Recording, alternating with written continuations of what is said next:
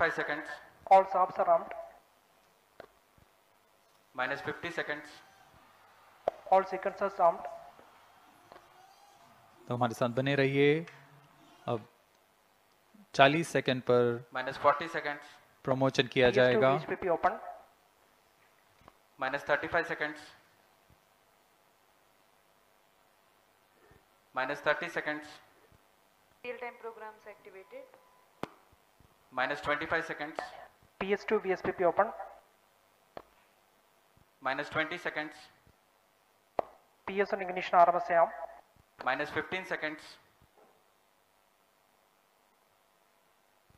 10, 9, 8, 7, 6, 5, 4, 3, 2, 1, 0. Plus 5 seconds. Lift off normal. P1 tracking. PT tracking. Plus Magnificent seconds. liftoff of PSLV C57 with Aditya L1 on board. Plus 15 seconds.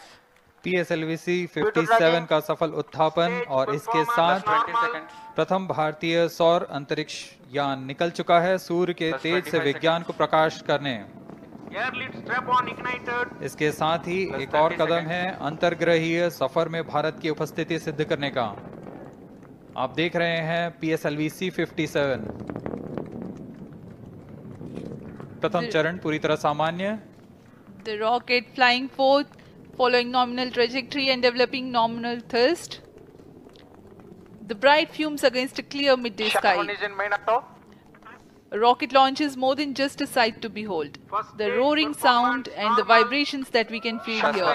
Adding to this, the thrill are just amazing. ground lit and air lit strap-ons operating together with the first stage S139. Ground lit strap-on separated.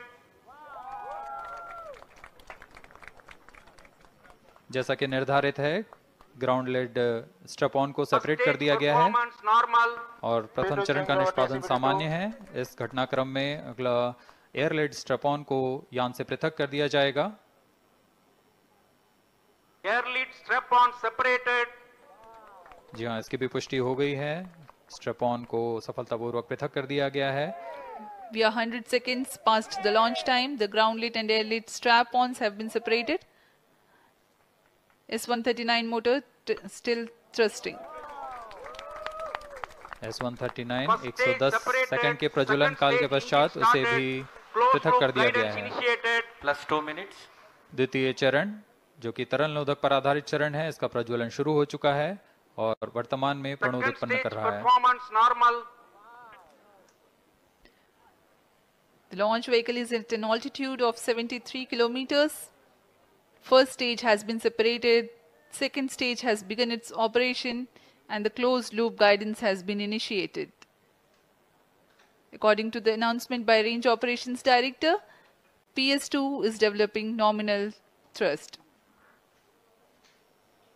P S two इकतालीस ton के तरल नोदक पर आधारित चरण है इसमें विकास engine द्वारा 800 kilo Newton का प्रणोद उत्पन्न होता है और इसका प्रज्वलन काल लगभग 150 सेकंड का होगा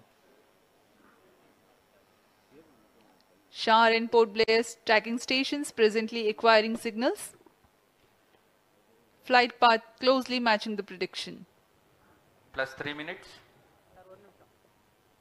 वर्तमान में यान क्लोज लूप गाइडेंस के अंतर्गत है Second stage performance normal. यान की ऊंचाई 106 किलोमीटर तथा सापेक्ष गति 3 किलोमीटर प्रति second The velocity addition in PS2 regime is going to be from 2 kilometers per second to 4.9 kilometers per Payload second. Payload fairing separated. The payload fairing covering the Aditya L1 spacecraft has been separated. The current altitude of the launch vehicle is 118 kilometers. Relative velocity exceeding 3.8 kilometers per second.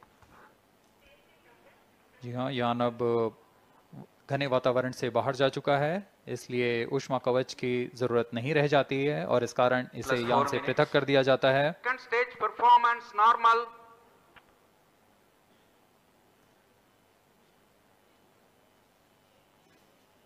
द्वितीय चरण वर्तमान में प्रणोद उत्पन्न करता हुआ और यान पूरी तरह सामान्य प्रदर्शन करता हुआ अपने अनुमानित पथ की ओर बढ़ रहा है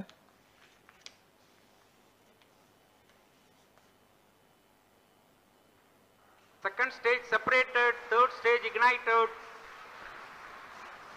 द्वितीय चरण को भी सफलतापूर्वक यान से पृथक कर दिया गया है। उसके प्रज्वलन काल समाप्त होने पर और तृतीय चरण जो कि ठोस नोदक पर आधारित चरण है इसे इसका प्रज्वलन शुरू हो चुका है।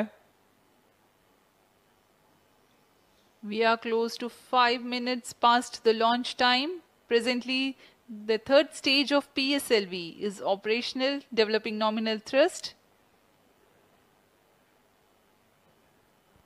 plus 5 minutes. तृतीय चरण में सात दशमलव छह टन के ठोस नोदक का प्रयोग होता है और इसका प्रज्वलन का